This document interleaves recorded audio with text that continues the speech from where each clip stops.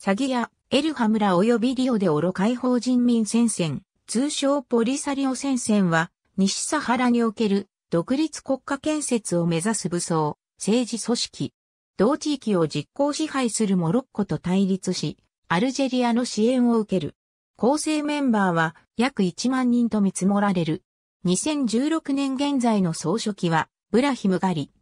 西サハラの領有権をスペインが1970年に放棄すると、モーリタニアとモロッコが分割統治を開始した。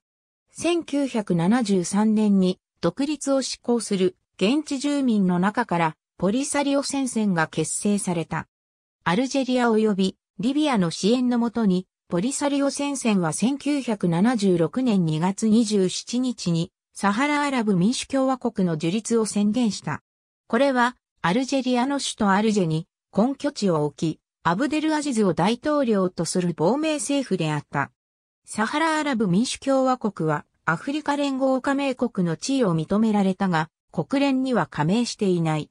モロッコはサハラアラブ民主共和国の加盟に抗議してアフリカ連合を脱退した。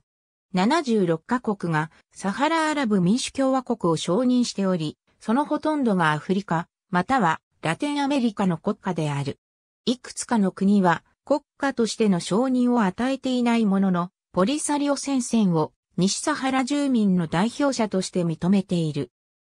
モロッコは西サハラの領有権を主張しているが、モロッコの主張する領有権を認める国家は長く存在していなかったが、アメリカのトランプ大統領は2020年12月10日、モロッコとイスラエルが国交正常化で合意したと発表し、その引き換えに西サハラに関するモロッコの主権を認めると発表した。ただし、国連やアフリカ連合などは同意していない。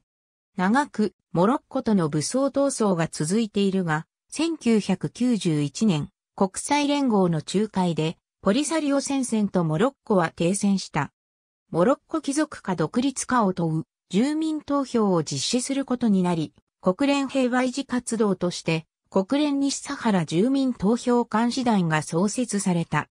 しかし、この地域には遊牧民が多く、有権者の認定が困難を極めるため、投票は無期延期の状態となっている。2017年現在、監視団の活動は継続している。2020年時点のポリサリオ戦線側の実行支配地は内陸部が中心であり、モロッコ側が海岸に面した地域を掌握する状況にあった。同年11月、モロッコ政府は、モーリタニアの間を走るトラックの交通が妨害されているとして、軍を投入、国境にある町ゲルゲラト付近で、ポリサリオ戦線側と交戦状態となった。同年11月9日、ポリサリオ戦線は停戦崩壊を警告したが、モロッコ軍の行動はやまず停戦は瓦解した。ありがとうございます。